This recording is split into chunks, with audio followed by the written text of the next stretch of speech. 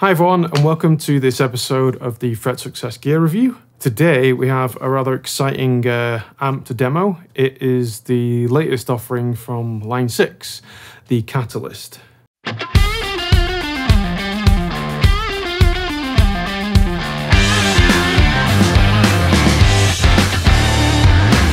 Um, they actually have brought three amplifier types. There's the 60 watt version, which is this one, the 100 watt version, which is uh, the same kind of bit bigger than this, but still 1 by 12 um, a little bit power, more power, and the 200 watt, which is a 2 by 12 which is a bit of a wider unit. I just want to take this moment to thank Guitarworks for lending me this guitar amp, uh, which is very nice of them to do that and giving me the time to kind of spend to get to know this thing a little bit.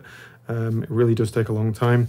The basis of the unit is that it's uh, six kind of amplifiers that you can walk through. There's the clean, which is kind of like a very pristine clean. Uh, you can crank it up to the top and it will start to break up a little bit. Um, kind of cranked, it stays clean for quite a while. And then there's the boutique, which is kind of uh, inspired by some of those kind of custom hand wired amps that you can get. Uh, chime, which is kind of a classic chimey sound uh, but still having you know a nice mid-range and a low end to it. Uh, crunch, which is that kind of classic uh, British crunch kind of sound. Uh, the dynamic, which is uh, highly kind of touch responsive, so you can dig in with your pick a bit more, and it can get like kind of overdriven, kind of a you know biting, crunchy tone uh, with depending on how dynamic your playing is. and then obviously the high gain setting on the the kind of last one there, which is as you would expect, kind of full of uh, overtones and overdrives, and uh, for that kind of really overly distorted uh, tone with uh, that kind of low, kind of scooped tone, which is nice. You can actually tailor the amp in as many possible ways you could think of. Really, it's quite an amazing uh, amp in terms of the versatility it can offer. Um, and even just from the loudness perspective, uh, if you look at the back, you can actually switch through the uh, output stages to get various different stages of gain. Look at the back panel, you can kind of see that from the left hand side here, you've got uh, this kind of output power, which you can actually mute, take it off, uh, and then just use the direct line out because um, you, you know, for silent recording, etc. Then you can go up to half a watt, which is that kind of really low level uh, kind of very bedroom, uh, late at night, kind of want a bit of sound out the speakers. 50% and then 100%. So that varies on the wattage of the one you've chosen. So obviously, half for this one would be 30 watts, which kind of could give you a nice kind of stage sound if you're mic'd up. Uh, we've got the USB port there, uh, which can connect to you know the DAW or digital audio workstation. So Pro Tools or Cubase or whatever you're using, Reaper, etc. Um, MIDI in on this uh, unit here, um, which is handy one for those people that want to dial in and use an external MIDI controller. Um, using that one of those, so you can actually uh, do even more stuff on the bigger units. Uh, won't go into that here. Uh, foot switch uh, plug in there, so you can switch between the two channels that it has built in. Uh, aux in, which means you can plug in on a 3.5mm jack. Um, phones, audio players, etc. Anything. Plug in a set of headphones, and then there's a little effects loop, which is quite nice for this, uh, you know, level level of unit, which is quite cheap. Um, and then flicking in, you can go between FX mode and power amp in mode, so you can actually use this as a kind of digital powered speaker for other external um, effects units and, and whatever you want into there. And then the direct out on the far hand side. So if we just want to go through the top panel here, we can actually go through and see. So we've got the amp selector here on this side here. So we can go through the various amps that I mentioned before. Um, six kind of nice settings there. Uh, boost, which is has a few functions. So with the boost function, you can actually uh, engage that with this button here, and that turns it on like a little stomp box. But it actually is tailored to each of these amplifier selections here, so you can actually take that in and out. And uh, there's actually a noise gate on here as well, so you can actually push and hold this, and then use this dial to either turn off the noise gate or dial in how much that threshold is changing on the gate. Uh, very usable gate actually, uh, which is surprising. And then gain, which is obviously for the channel, that kind of uh, the the kind of uh, preamp gain stage. Uh, EQ here, uh, bass mid treble does what you would expect them to do. Uh, the presence is kind of you know from those uh, valve amps that have got kind of a nice mid range top end push if you want to do that and really makes it more in your face and can cut through the mix a bit more. The channel volume is for the channel that you select, channel AB. So if, say if you wanted to tone down one of the channels or balance them, you could do that for the channel volume. I think that's really just attenuating those sounds rather than uh, boosting anything in particular. Then, although there's only two buttons here in this section for the effects and reverb, it's uh, very much a very versatile area of the amplifier, and we'll go through that in just a second. And then the master never really changes anything below here. It's just the kind of power amp uh, stage, but I don't think it really adds any um, distortion, etc. Might correct me if I'm wrong in the comments there, but uh, from when I've played with it, it's really just a volume kind of thing.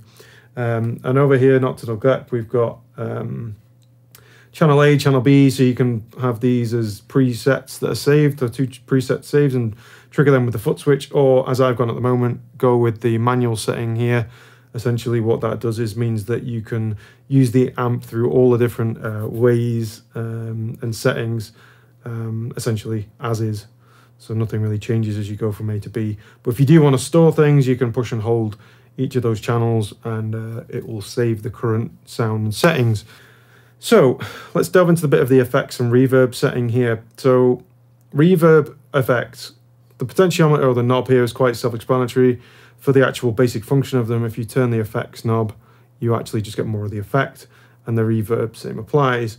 But a kind of hidden dimension sits here. So when we turn these off, that means no effects whatsoever.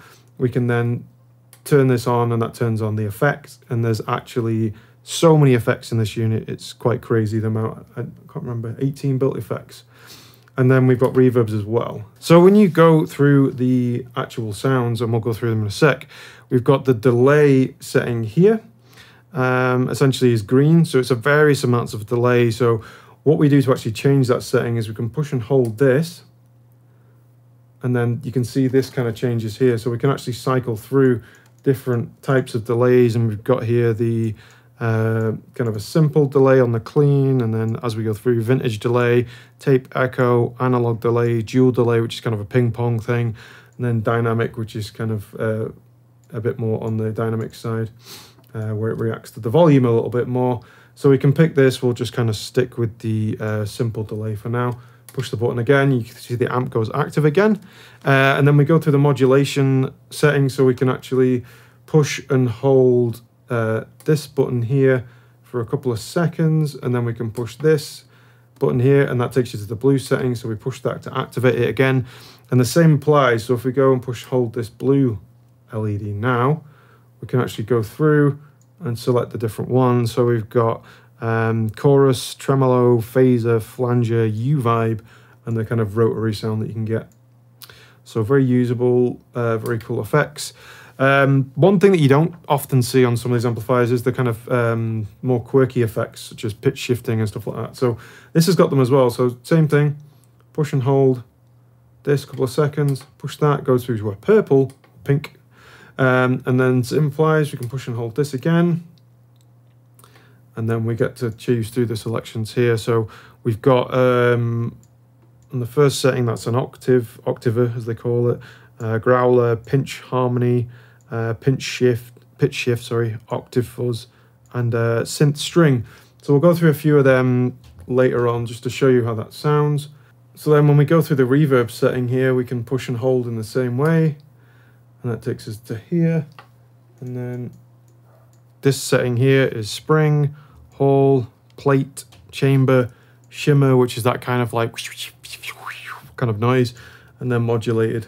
So a few different types of reverb there that is uh, very usable. So across all these effects, you can actually see there's a lot of functionality around here. So it's great. So that's enough talking from me. So let's go through a few different sounds. Uh, I'll play with the humbucker guitar PRS first, and then I'll switch to Telecaster as well. So let's play through the uh, first sound, which is the clean, pristine, no effects, nothing.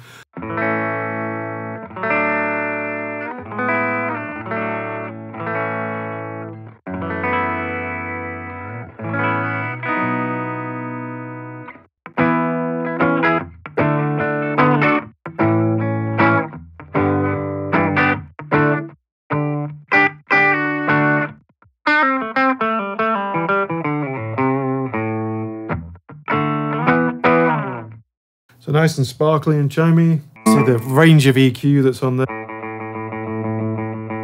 nice range. You get that mid-tone honk. Treble. Kind sweep in, but not too harsh.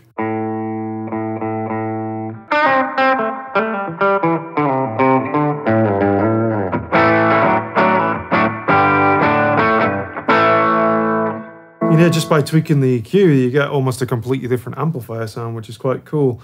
I, I owned a Line 6 Spider years ago, and how far this amplifier is from that, because I eventually sold that amp because I just didn't get on with it. It was too trebly, it was too hissy, and it didn't really, it was too fake sounding. I just didn't really like it. The model amp just wasn't there yet, and uh, this is such a vast improvement on things.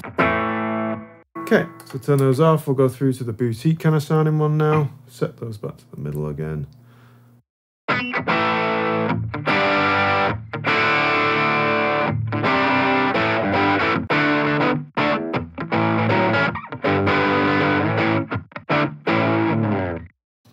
Crank that bass a bit in the mids, knock the treble back a bit.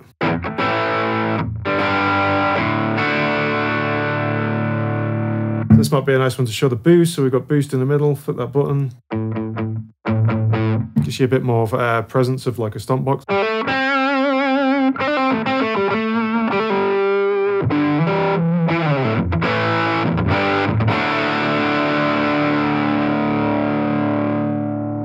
Get it back just to dial it in. And just have it right the way to give it a punch.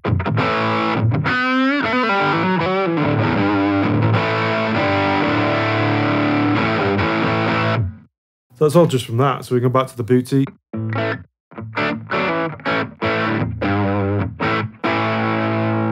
Kind of that kind of, uh, almost like a brown sound you would normally describe it.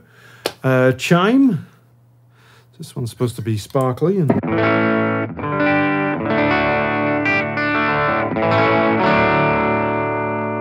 With a bit of a kind of overdrive if you dig in.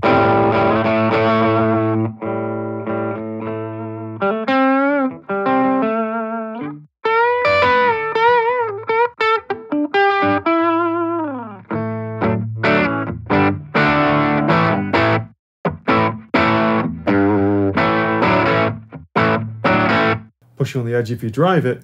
So we can go to the actual crunch sound. Definitely more of that kind of uh, orangey Marshall kind of sound.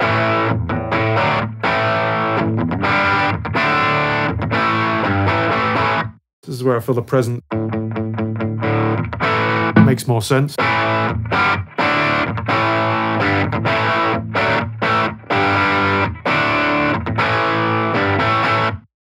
Boost on a bit.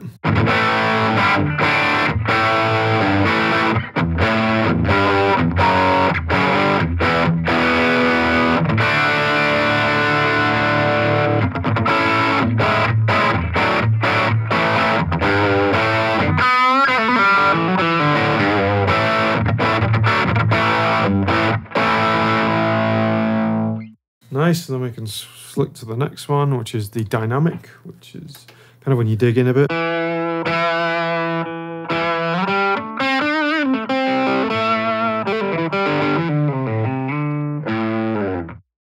Turn presence down a bit, bass up, middle down a bit.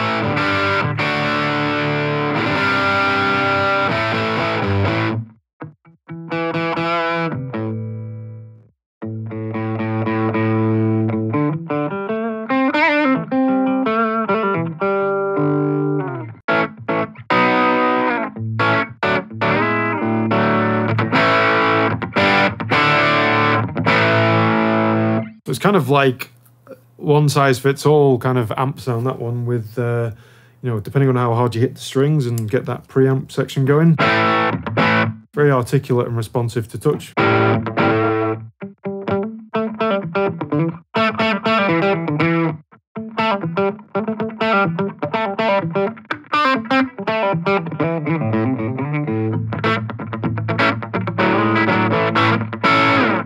Nice, and then onto the high gain final kind of setting here. Not that presence back a bit because I was going to go a bit wild.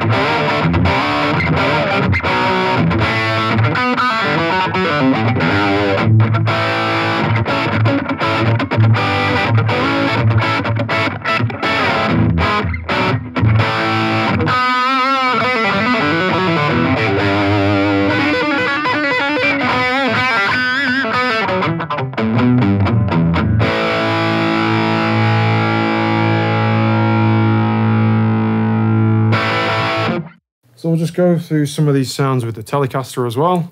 So we'll go through the clean.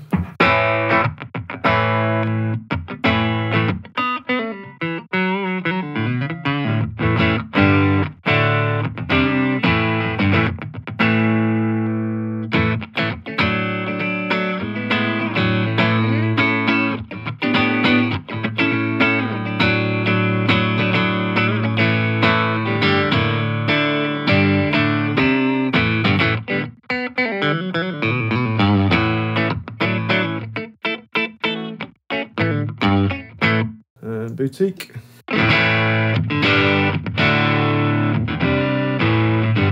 Push that mid a bit, cut the treble a bit.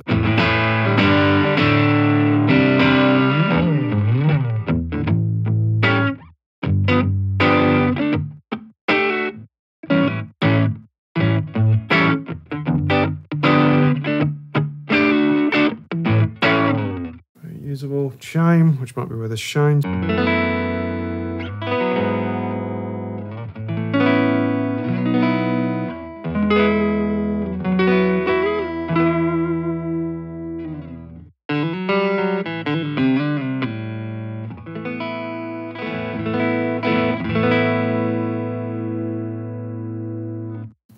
Crunch sound.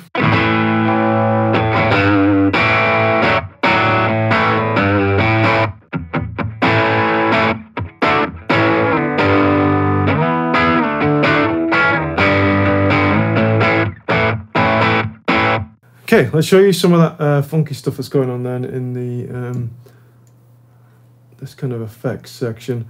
The blue ones are chorus initially. Let's just go through see how some of them sound. Do clean for chorus, I think.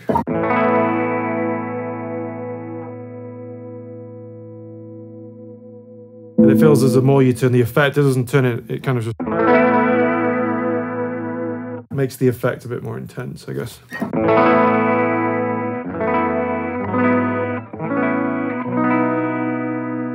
So we can then push this one here, hold that one. It's hard to do. and, uh, move that one along to the boutique, which is the tremolo. Nothing much there.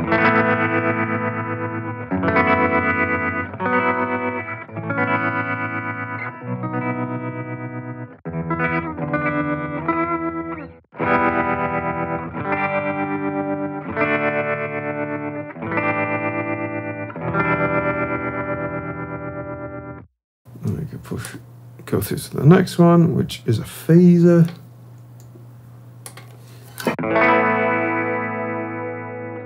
Wobbling, swishy, swishy, swish, kind of.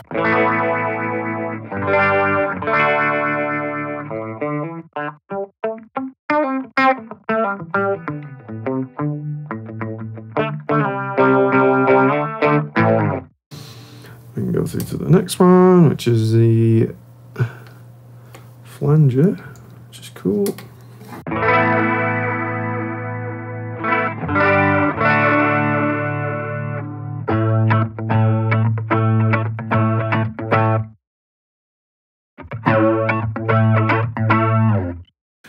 one is the uh, U vibe. It's all very, you know, standard effects. Nothing too crazy going on there, which is cool.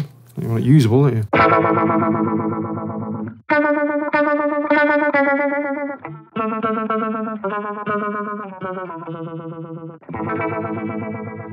And then the final one, which is the rotary, which is always a bit of a funky one.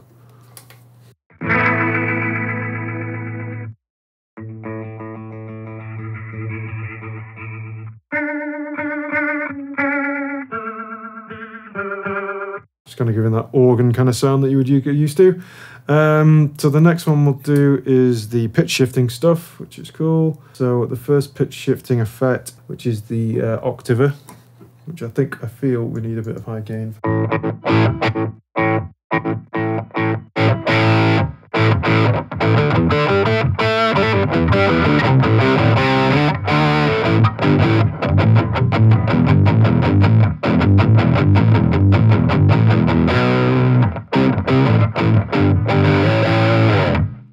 One, which is a growler, which I'm not quite sure what that one is supposed to mean. So I'll do that one.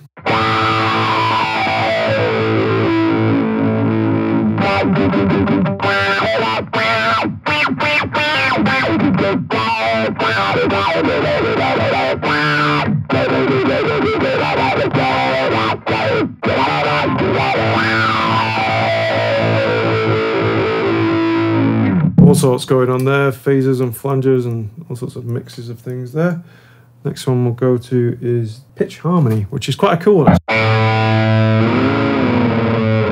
So varying on where this knob is, it will add in a different harmonic. That sounds like the octave below. Getting like seconds and thirds. Like a fifth.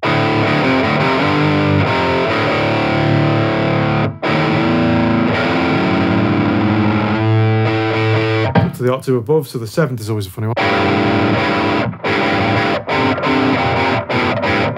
Sounds like a nightmare. It's two octaves above.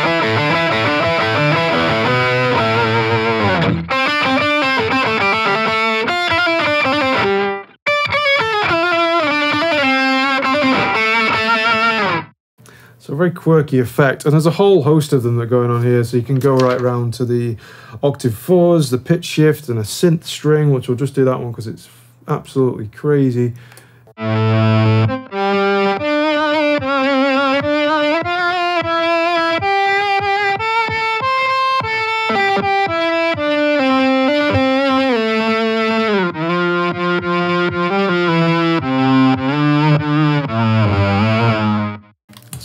All sorts of crazy sounds going on here.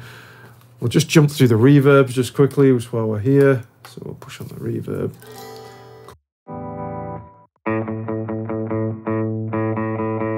So I think we'll dial that one in there and we get the first one is actually a spring, which is your standard. Then we go to hall.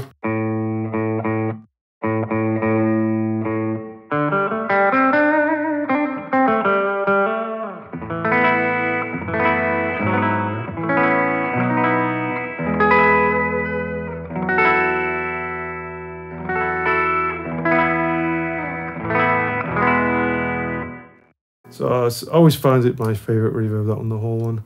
And then we can, it's quite annoying from here with one hand. And then round to ch the chime setting, which is a plate, which is kind of a bit, as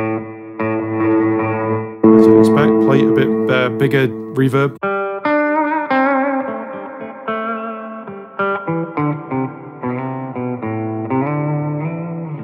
Let's go around to the shimmer just for the last one here, which is this one.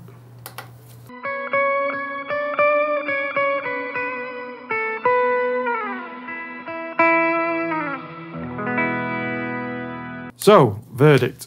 I, I feel this amp is actually incredibly useful, useful, and, and then really such an improvement of other Line 6 stuff. And I like the way that you can actually uh, go in and, you know, use a lot of features from the top here, from the amp, not having to dial into other stuff. It comes with an app that you can tweak and change and dial all sorts of things through your PC, uh, or even hook it up to a tablet or your phone, I believe, with the right uh, cable uh, which is really powerful if you want to go into that level of detail. But it's really nice that you can actually dial in all sorts of sounds just from the top board here. It's quite powerful that you can do that. So, and all that changeability that I did, just pushing a couple of buttons here, a couple of buttons there.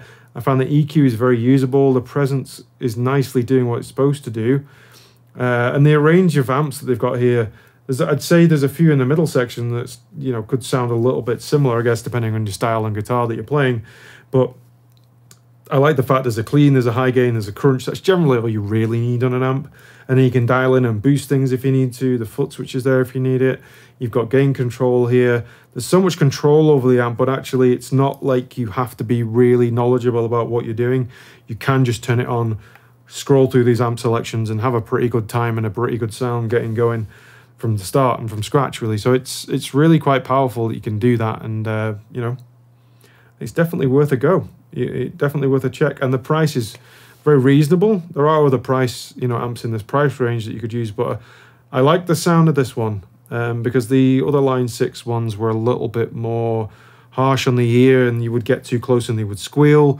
You saw there previously that I was getting feedback from the amp and it was nice, controlled, predictable feedback, which is nice for it to behave like that. I didn't really notice any latency on the amp. Maybe occasionally a tiny little bit, but not enough to bother you or put you off. It's it's it was tiny if you noticed anything at all.